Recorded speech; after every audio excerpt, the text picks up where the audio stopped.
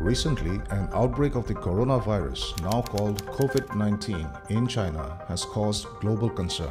The number of known global cases of COVID 19 passed 100,000 over the weekend, causing major economic slump and creating havoc and panic in the daily lives of people.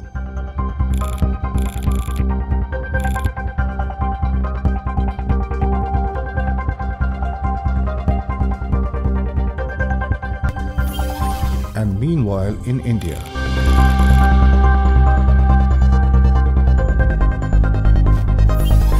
So, what is coronavirus? Coronavirus is a virus that is found in animals and can be transmitted from animals to humans and then spreads person to person. But where did it come from? China alerted the World Health Organization about the cases of unusual pneumonia in Wuhan on December 31 last. COVID 19 is thought to have originated in a seafood market where wildlife was sold illegally.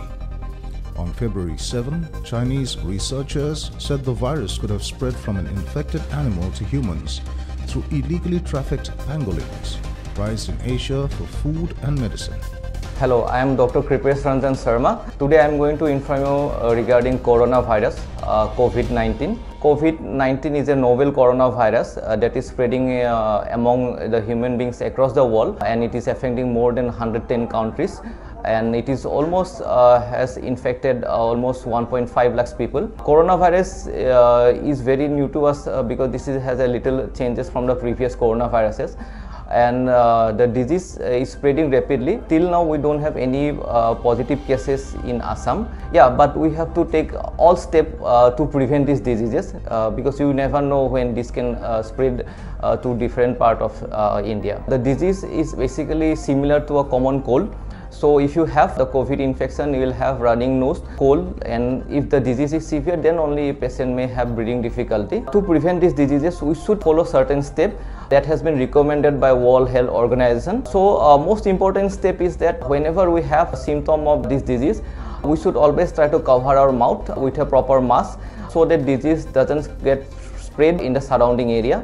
Secondly, we should use a cough etiquette and good hand hygiene because this virus can stay in our hands for a long time. So uh, we should regularly wash our hand with soap and water or alcohol based sanitizer that will also can prevent spread of the viruses. Thirdly, we have to do a sneezing etiquette. Whenever we are sneezing, then we should cover our nose with a fold or elbow so that can also prevent spread of the diseases. And also whenever you have this symptom, you should visit a government designated center where testing testing facility for this COVID-19 is available so that you can get yourself tested and get confirmed uh, about the disease and moreover this is very important that you should avoid uh, public gatherings so that this disease should not spread in a large number and then handshake should preferably avoided and we should follow our old uh, Indian traditional culture which is a very rich uh, that is the culture of namaste so that we can prevent ourselves for spreading of the diseases. Thank you.